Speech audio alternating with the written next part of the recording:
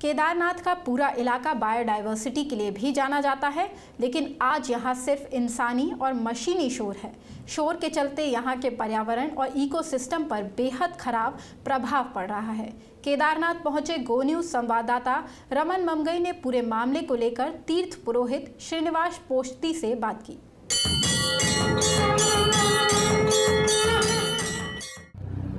उत्तराखंड में जब चार धाम की यात्रा हुआ करती थी तो उसके कुछ नियम हुआ करते थे। यानी जब आप इस हाई एल्टीट्यूड में आए, जब आप केदारनाथ या बद्रीनाथ या गंगोत्री यमुनोत्री जैसे धामों में जाएँ तो वहाँ तेज आवाज़ में बात की है लेकिन अभी हर पाँच मिनट में घाटी में इस तरह की तेज आवाज़ से गूंज जाती है हर पाँच मिनट में एक हेलीकॉप्टर यहाँ घाटी में लैंड करता है।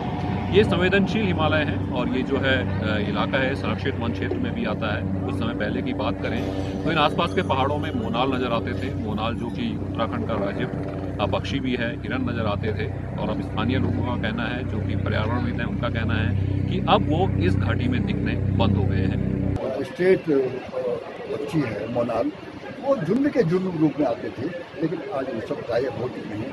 एक तरफ़ हमारा इन हिमालयों में रहने वाले जो पक्षियाँ हैं, जिनका कि हमके संरक्षण करना चाहिए था, वो या या से दूर है।